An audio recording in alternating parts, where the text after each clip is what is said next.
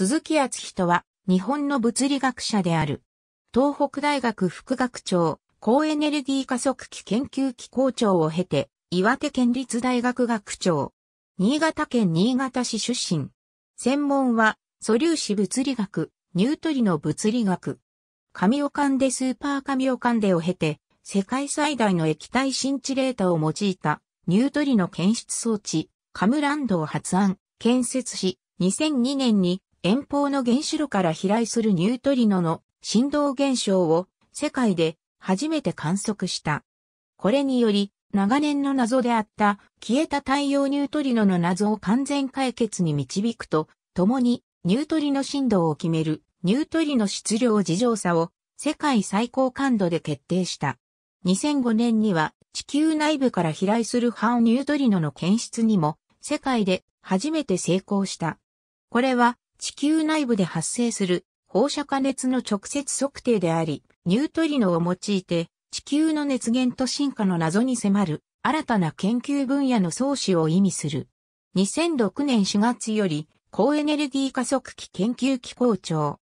2007年4月、フェルミ国立加速器研究所所長ピエル・マリア・オットーネと小柴正俊の相弟子の一人。神オカンデ、スーパー神オカンデでのニュートリノ観測実験の主要メンバーとして活躍した。特に神オカンデでは大口径光電子増倍管の開発と製作、超純水製造装置の設計、製作などを担当し、戸塚洋二、須田秀弘と共に検出機建設と実験遂行の中心的存在であった。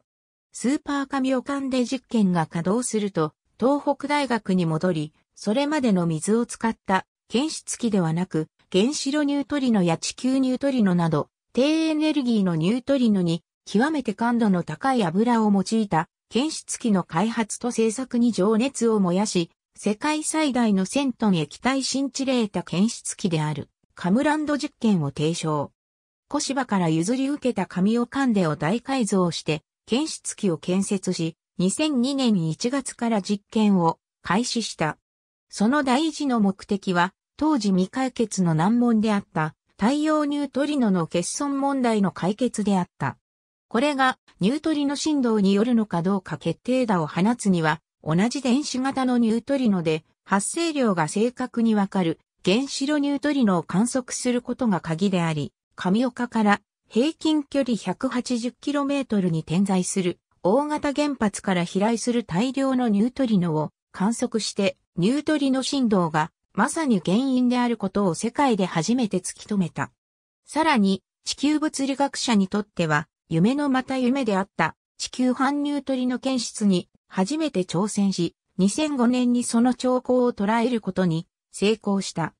これは地球深部に含まれるウランやトリウムからの放射性元素の崩壊で発生する反ニュートリノを直接検出するものであり、ニュートリノを使って地球内部で発生する放射加熱を直接測定できることを示した最初の実験であった。カムランドの結果はこれまでの地震波や岩石の化学分析による間接的な手法とは違い、人類が地球内部を直接見る目を獲得したことを意味するものであり、地球物理学者から単なる発展というより革命である。と称されるほどの反響を巻き起こした。2010年10月、フェルミ国立加速器研究所所長ピエル・マリア・オットーネと、ありがとうございます。